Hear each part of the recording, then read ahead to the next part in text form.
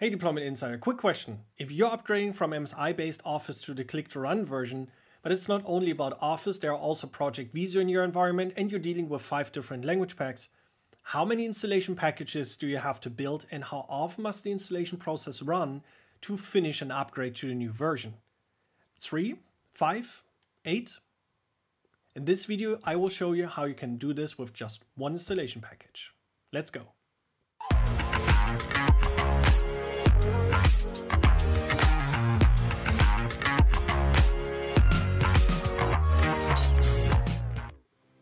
Welcome back.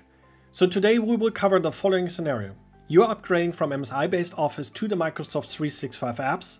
Some of your users have Project, some of your users have Visio, and they should get Visio and Project again, but of course you don't want to install it for everyone. And to make it more complex, you're supporting multiple languages, and there are different combinations of these languages out there. So it's not the same set for every user, but it is very individual. Um, and instead of crafting installation packages for all these different components, one for Office, one for Visio, one for Project, one for each language, and then trying to daisy chain them together or trying to group them and target them at the right set of users, we will craft a configuration XML which is instructing the Office deployment tool or the Office setup engine to install automatically the matching set of products and languages as they have been on a machine before. And we will do this in three steps. Uh, create a base a configuration XML, then modify this XML uh, for some basic scenarios, as well as some advanced scenarios, and then integrate this XML into your existing deployment solution. So let's get started with step number one, creating the base configuration. For this, I switch to the config slash deployment settings webpage, which gives you an easy way to create your, your base installation. So I will only call out a few important pieces here. So select your Office suite, which are most likely Microsoft 365 apps for business or for enterprise. And then select the Visio installations, uh, uh, Visio and project installations that you want to deploy to a subset of users. So in my example, I go with the Visio subscription uh, for my users, but let's say for project, I don't have a subscription, I have perpetual licenses. So for example, the uh, project standard 2019 volume license. And then I can adjust my uh, update channel or the applications I want to deploy. Uh, when it comes to languages, uh, pick the one, two, three languages that everyone should get. So if there is kind of a baseline, in my case, everyone should get the English version installed. Just select this, we will add uh, the dynamic languages and later on uh, go with the default installation in my case. And then when it comes to the section update and upgrade, make sure that this toggle is on to uninstall previous MSI versions and also enable this toggle that for the uninstalled versions of MSI, we will install the same languages for the new click-to-run based applications. So I will go with the uh, defaults for the remaining settings and then just export the configuration XML and open it in your favorite editor. So that's step number two. Let's open the configuration XML and see what we have here. Uh, so I will add a few lines to um, make it easier to read. So the first section instructs the setup engine to install the Microsoft 365 apps for enterprise um, with the English language pack and also, as we have specified, to match the previous MSI.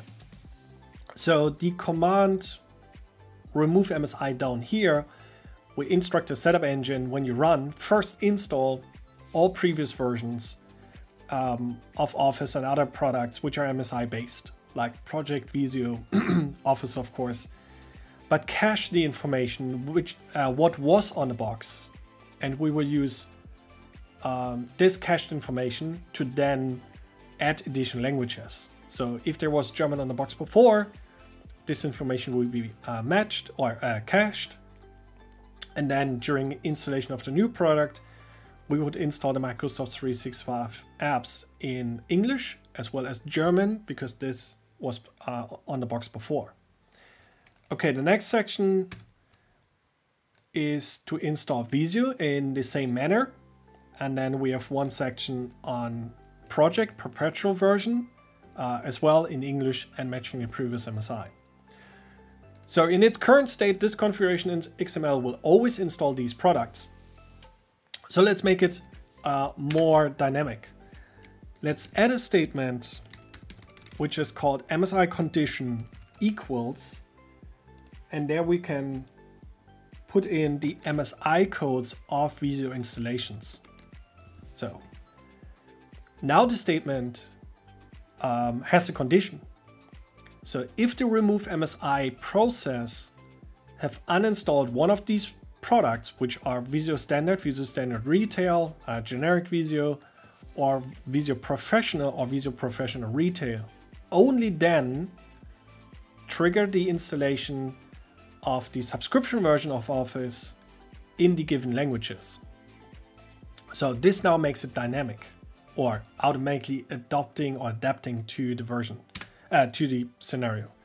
And we can do the same for a project. So again, add the statement MSI condition and then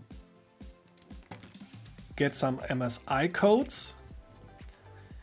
And now we have done the same for project. If there was a project standard or a project standard retail on the box or a pro or pro retail on the box before, only then install project standard 2019 volume versions, uh, volume version in the given languages. And we can uh, copy paste and modify these statements to cover more scenarios. So with the current um, configuration XML, if a user currently has a Project Pro um, on the box, we would install Project Standard. So we can easily modify this to be more specific and address scenarios uh, very specifically. So let's copy this statement and then remove the MSI codes for Project Pro from the standard section. So now it says if you if there was project standard before in the box, install project standard 2019 perpetual in the box.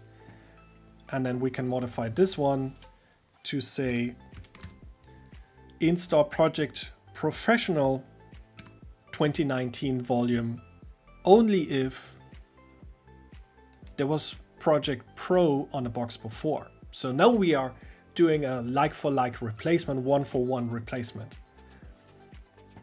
But the MSI condition command is not only limited to uh, Project Visio, you can basically use any product ID um, which is known to the Click Run engine, and I will put a link into the description for a list of all the product IDs. And in MSI condition, you can put any MSI code that is out there in for uh, checking this. So let's uh, do, do an example of this. Let's say I want to install the access runtime for all my users which had access or the access runtime before. I disabled um, that access gets deployed to all my users, but maybe some, some of my users are entitled to use access. So at least they should get the access runtime retail as a default if they had it before, or maybe if they had access before. Um, of course, then we don't need the uh, product ID. And regarding project, uh, so when we switch or change the statement from project standard to project pro, of course, the product ID uh, is a different one. You can look this up in our documentation or just recreate the configuration XML with a different product and you will, you will automatically see the different product IDs, which are basically telling um, the installation, in this case, it's a uh, KMS activation. So install the product and when it's launched, search your KMS uh, key uh, server and activate from there. All right, so now we have a very dynamic, automatically adjusting uh, configuration XML, which will always install the Microsoft 365 apps. But then the installation of Visio subscription, uh, Project Standard, Project Pro, or Access Runtime is dependent from if or on if this was on the box before. And uh, same goes for languages. We will combine uh, the same languages which had been on the device before and not go always with a, with a fixed set.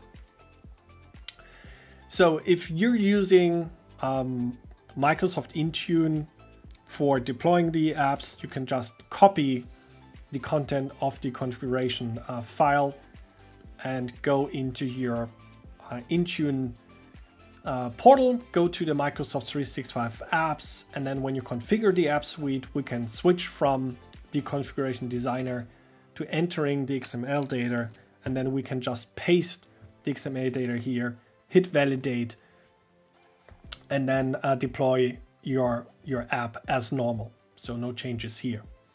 When you're dealing with uh, configuration manager, so you want to use a Microsoft configuration manager to deploy this application, I suggest an additional change in the configuration XML because when you use the built-in wizard uh, to build your application and you choose uh, English US, it will automatically download this um, language pack and put it onto your distribution points. but your distribution points then only have the base install and the English language pack on there. So if our command match previous MSI finds, for example, a German language pack, this is missing from the distribution point and it will not get installed. So we can add a command which is allow CDN fallback equals true to the configuration XML. Now we are uh, instructing the setup engine or the Office deployment tool if there is uh, if you want to install a language and the source files are not on the distribution point, you're allowed to fall back to the CDN to grab this missing language pack directly from your Office CDN. Everything else is coming from the distribution point, so we're combining these two sources. So for configuration manager scenario, um, I highly recommend to add this statement into your configuration XML as well. Then uh, save the file, go into the source of your application and just swap out the existing configuration XML with the one we have just created, resync to your distribution points, and you're ready to go. If you use other solutions, uh, like third-party solution, or you're scripting the hell out of it, um, it's basically the same process. I get rid of the existing configuration XML, replace it with this one. You can go with the same source files. The source files will include everything which is needed for the products like Visio project. They are always included. So no need to re-download these source files. And then uh, go, go on with your deployment and uh, deploy this one package there will be just one installation pass uh, for your user, so it will install all these products in one pass. So it's not like three, four uh, times that you disrupt the user. It's just the upgrade process disrupts the user only once. And then they should have the same combination of products and languages as they had before. If this video was helpful for you and you like this kind of content, uh, please subscribe to our channel, uh, give us a like if you have any questions about MSI condition or you have comments or, or specific questions. Um, we would like to get your feedback, so put it down um, below the video into the comments or reach out to us directly through uh, some social um, or different uh, social media channels. And then until next time, keep on deploying.